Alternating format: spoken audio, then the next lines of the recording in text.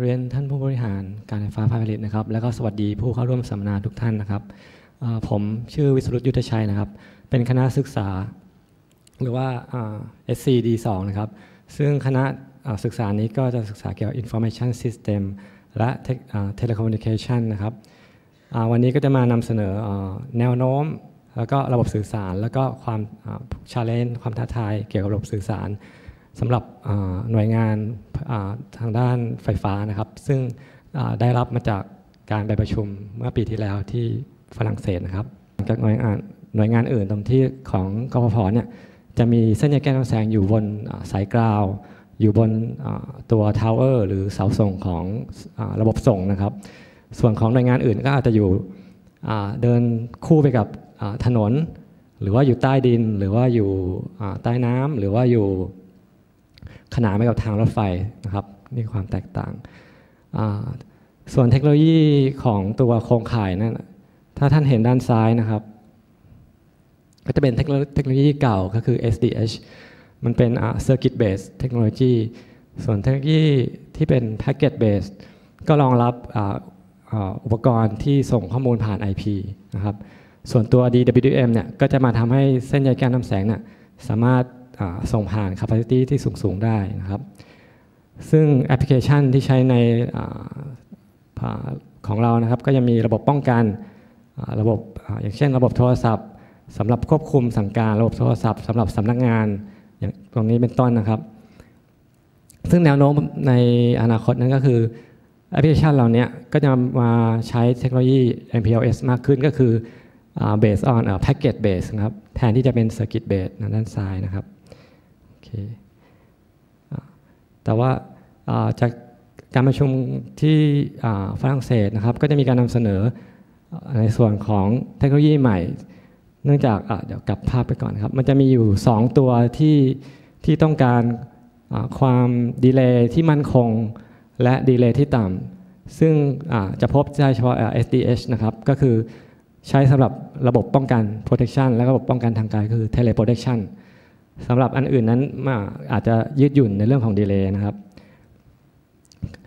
มันก็มีเทคโนโลยีใหม่ ชื่อว่า MPLS TP มันก็มีพื้นฐานมาจากตัว MPLS ทางด้านเทคโนโลยีทางด้านขวามือเมื่อกี้นะครับ แล้วก็ผสมผสานกับข้อดีของ SDH ก็คือ delay ที่มีสั้น delay ต่ำแล้วก็ไม่มีการเปลี่ยนแปลงทางด้าน delay มากนะครับ ใน paper ของ MPLS-TP as a packet platform for critical service in power transmission ที่นำเสนอที่ฝรั่งเศสนะครับเขาก็ทำการทดลองส่งบริการไอ tele protection หรือระบบป้องกันเนี่ยโดยใช้ระบบ MPLS-TP ก็พบว่าเวลาที่ต้องการเนี่ยไม่เกิน 10 millisec ซึ่งเขาทดสอบได้อยู่ที่ 7.5 millisec นะครับ แสดงว่าเทคโนโลยีเนี้ก็พอที่จะรองรับ การทำงานของตัว Tele Protection นะครับ แล้วก็มาทดแทนไอตัวตัว Circuit Base ตัวนี้ เพื่อที่จะทำเปลี่ยนเทคโนโลยีทั้งหมดเนี่ยไปเป็น Packet Base นะครับอนอกจากเปเปอร์นี้แล้วทางผู้ผลิตอุปกรณ์ต่างๆ อย่างเช่น Cisco หรือ Siemens หรือ IAD หรือ Nokia เนี่ยก็ยังมีบทความออกมาเพื่อที่จะยืนยันว่า โอเค เทคโนโลยีเนี่ย สามารถนำมารองรับระบบป้องกันที่ใช้สำหรับ power utility, utility ได้นะครับ แต่ปัจจุบันก็ยังยังไม่มีคนใช้ เนื่องจากเทคโนโลยีเก่าตัว SCH เนี่ยก็ยังมีอยู่ แต่ว่าในอนาคตเนี่ยมันก็คงจะน้อยลงน้อยลงนะครับโอเคออย่างที่บอกว่าอันนี้เป็นตัวอย่างของกฟว่า แนวโน้มเนี่ยมันจะไปทาง IP มากขึ้นยกยกตัวอย่างตัว ปาร์ตี้ไลน์ก็คือตัวโทรศัพท์ในสำนักงานเนี่ยเมื่อก่อนจะใช้วงจรคำว่า 4Y ก็คือวงจรขนาด 64 k bit เนี่ยก็จะถูกพัฒนามาใช้ในงานแพ็กเกจหรือ IP มากขึ้น ตัวโทรศัพท์สำนักงานเมื่อก่อนผ่าน PABX หรือชุมสายโทรศัพท์ที่มีการใช้งานผ่านตัว SDH ก็จะถูกพัฒนามาเป็น VoIP อย่างของการไฟฟ้าฝ่ายผลิตเองเนี่ยก็จะมีในระยะ 5 ปีข้างหน้าเนี่ยก็จะมีการเปลี่ยนไปเป็นใช้ VO VoIP หมดนะครับ ทาง SCADA ก็อย่างเช่นมี IP RTU ที่มีการใช้งานมากขึ้น AMR ก็ก็ automatic meter reading หรือว่า digital fault recorder พวกนี้ PMU พวกนี้ก็ใช้งานผ่าน IP packet network อยู่แล้วนะครับ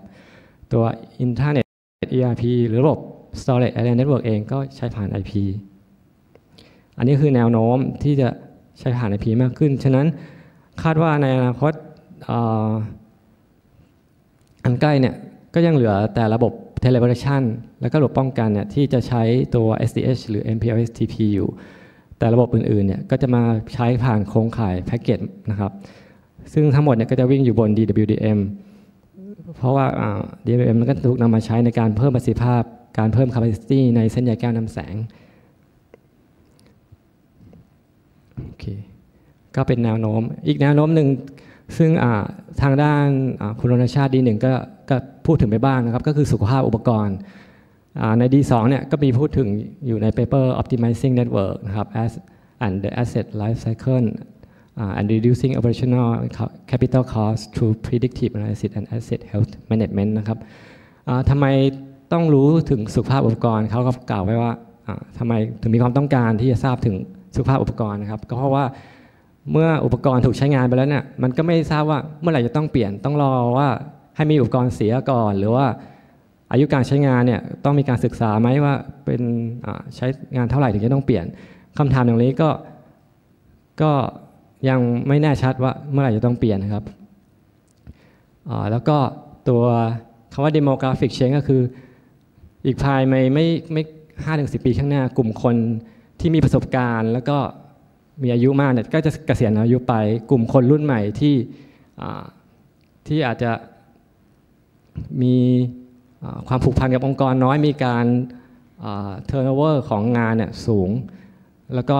กลุ่มคนใหม่ที่จะผูกพันกับไอทีมากขึ้นเนี่ยเขาก็ยังสงสัยว่า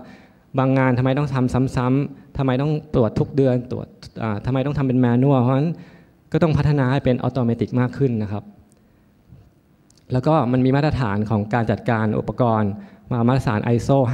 55005 ซึ่งก็ได้จะได้ทำให้มันคอมพลายนะครับความท้าทายเกี่ยวกับข้อมูลก็อย่างที่บอกนะครับข้อมูลเนี่ยเมื่ออทำยังไงถึงเอามาพิจารณาได้ว่าเมื่อไหร่จะต้องมีการทดแทนอุปกรณ์ที่มันหมดที่มันถูกใช้งานมาแล้ว ถึงเวลาหรือยังที่ต้องเปลี่ยนนะครับ ก็จะต้องมาพิจารณาถึงสุขภาพอุปกรณ์นะครับ และที่สำคัญที่สุดก็คือต้องการที่จะลดคอส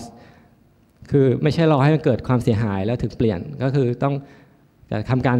คาดการได้ว่าเมื่อไหร่อุปกรณ์มันจะถึงเวลาที่จะต้องเปลี่ยนประมาณนั้นนะครับ คราวนี้ในตัวความต้องการเพื่อให้ได้มาถึงสภาพอุปกรณ์เนี่ยมันก็ต้องมีก็คือข้อแรกคือการว่าการดึงข้อมูลเนี่ยเข้ามา เข้ามาอยู่ใน single platform นะครับ โดยดูข้อมูลได้ว่าข้อมูลเนี่ยจะถูกนำไปใช้วิเคราะห์ยังไงนะครับ อันที่สองคือเมื่อได้ข้อมูลมาแล้วเนี่ยจะต้องมีโมเดลหรืออัลกอริทึมยังไง ไปจัดการกับข้อมูลเหล่านั้น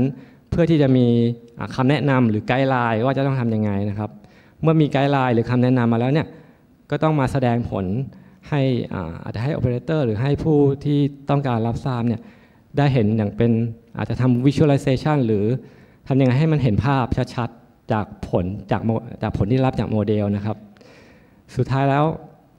เมื่อมีผลผลลัพธ์ที่ออกจากโมเดลเหล่านั้นแล้วเนี่ย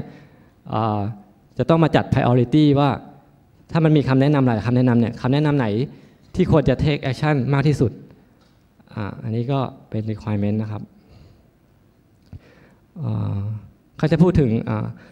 มันก็สามารถไอตัว asset health เนี่ยสามารถเชื่อมโยงไปกับระบบ SCADA หรือ EMS หรือ DMS ก็ energy management หรือว่า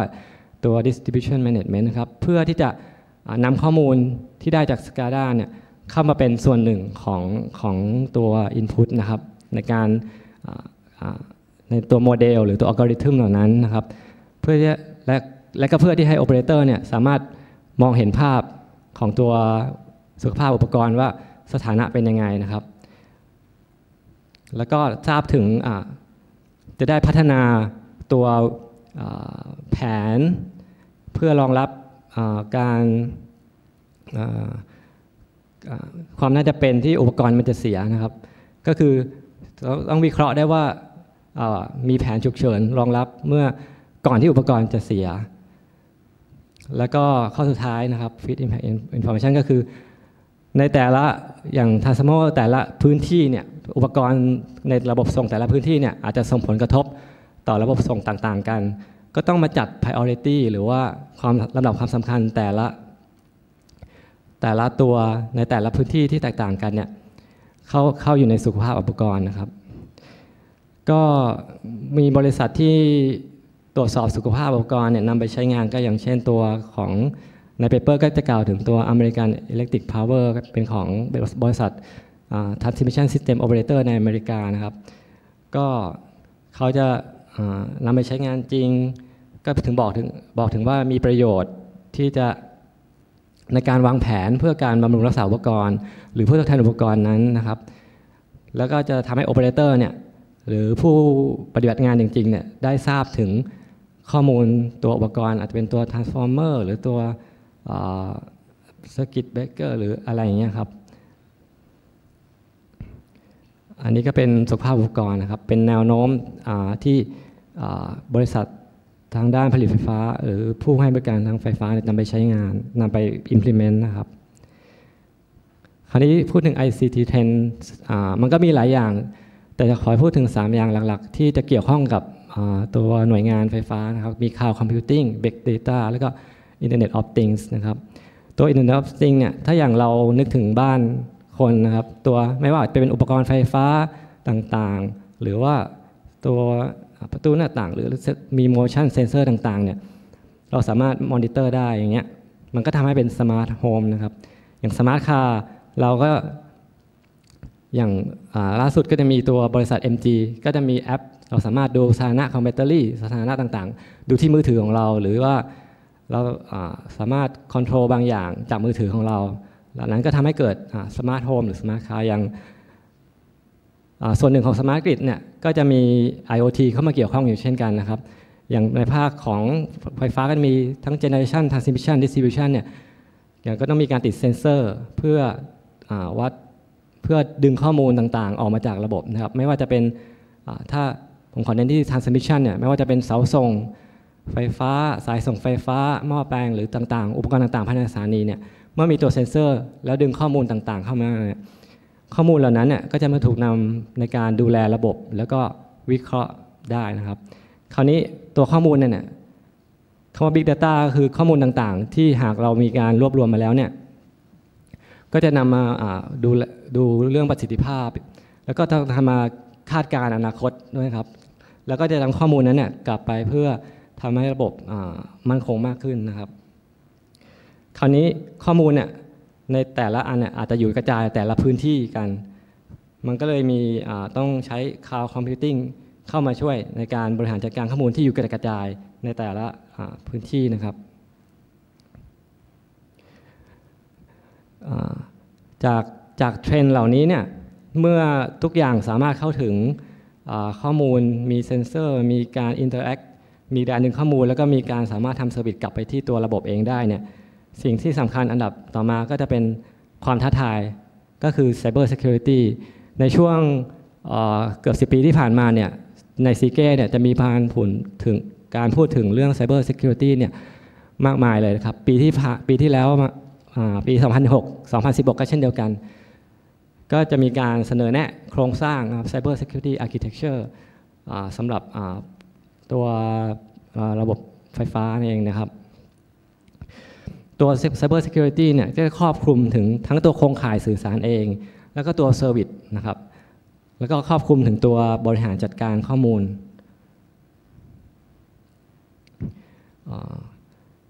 ในในโครงสร้างของตัว Security เนี่ยบาง paper อย่างเช่น paper ของ Network Architecture แล้วก็ Cyber Security นี่นะครับ ก็จะแบ่งโซนของแต่ละ อย่าง substation zone control room zone แบ่งโซนแต่ละโซนออกอย่างชัดเจน เพื่อเพื่อป้องกันระบบในการให้มี security มากขึ้นนะครับ อีกทั้งในการบริหารจัดการ cyber security เนี่ยก็จะมีมาตรฐานมารองรับอย่างอย่าง ISO IEC 2007 นะครับ ซึ่งข้อมูลเหล่านี้ก็แต่ละบทความเนี่ยก็จะนำเสนอในแง่ของ แนะนำคำแนะนำไกด์ไลน์แล้วก็เป็นโครงสร้างนะครับ หากหากท่านใดสนใจก็สามารถติดต่อนะที่ TNC หรือว่าสำนักงงานซิเก้ไทยนะครับ เพื่อเอาข้อมูลเหล่านี้ไปใช้งานครับขอบคุณครับ